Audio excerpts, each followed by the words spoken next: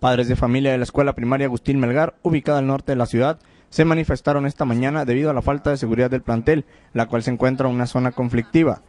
Para que nos pongan las bardas, es que ha habido muchas balaceras por aquí, muertos y los niños asustados. Tenemos como dos o tres años, el profe trae las hojas donde hemos metido solicitudes para la barra. Pues, de hecho, vinieron nomás a, a. Los paterfamilias señalaron que había solicitado el apoyo para el plantel educativo con la presencia de elementos de seguridad, así como la construcción de una barda perimetral, ya que en la zona se han registrado varias balaceras, las cuales ponen en riesgo la vida de sus hijos. Queremos las bardas, queremos una barda protección para los niños.